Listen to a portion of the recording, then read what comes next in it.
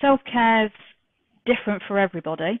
Mm-hmm. It's about what you need to do for yourself to keep your mood at the right level for you.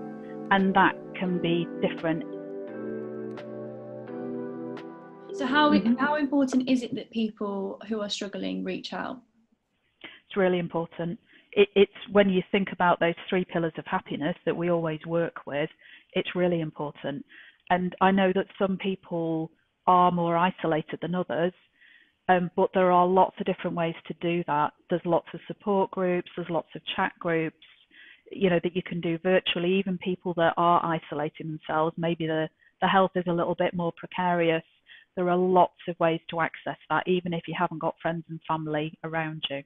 And it, it's it's one of the most important things you can do.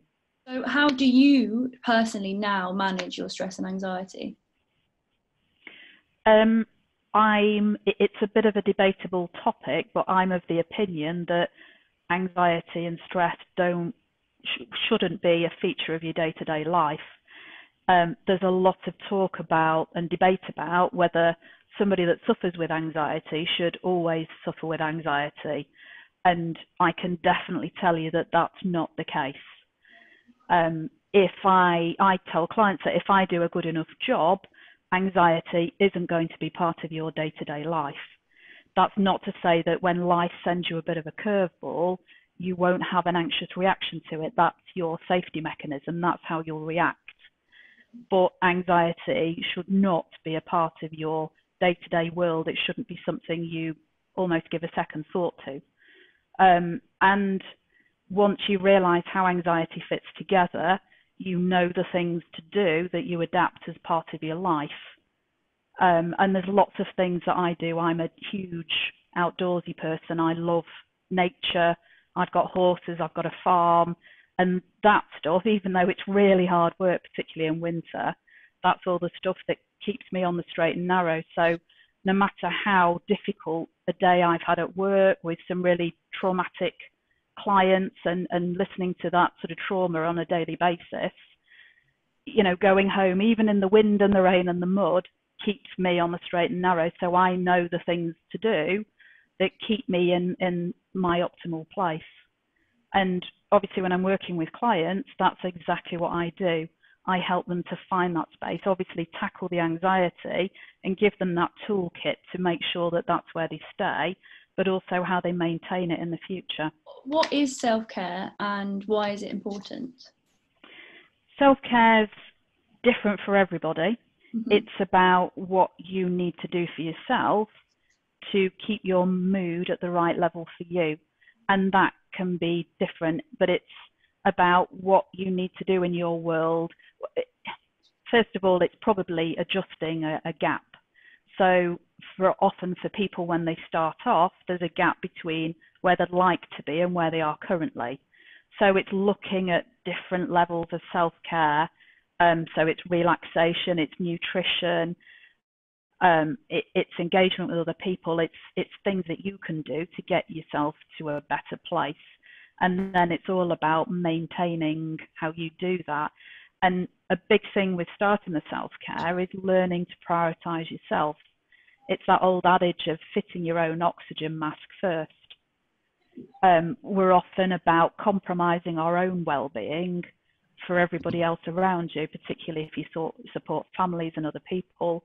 It's very much about deciding that you're going to prioritize your own self and then finding ways to do that that work for you. So, what makes you and your approach different?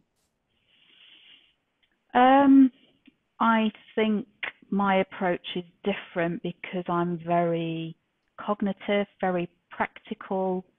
Um, I don't use sort of psychobabble. Um, you know, I think I'm very accessible.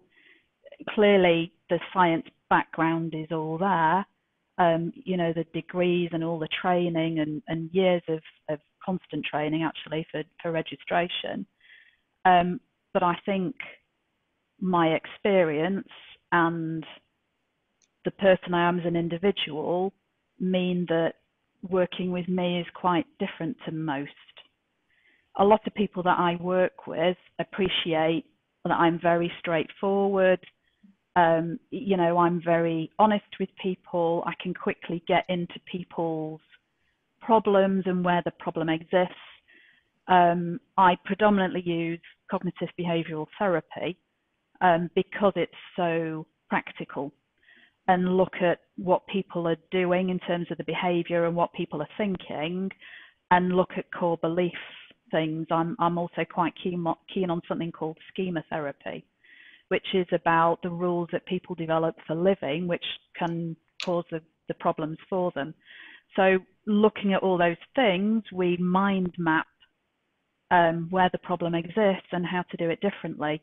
So it's very solution based, it's very scientifically evidence based, and we have a direction of travel.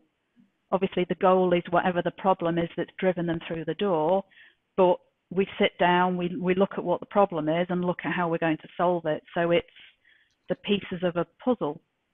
Um, and we look at pulling the pieces apart and putting them back together in a different way. And so my model of working with people is very different to somebody like a counselling model. It, it couldn't be more different than that.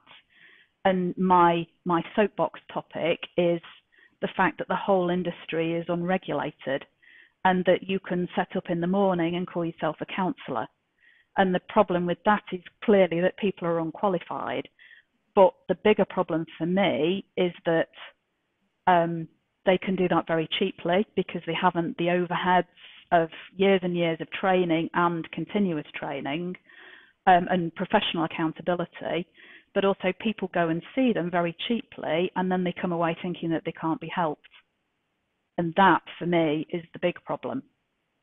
Um, so, what I do and what I offer people are solutions.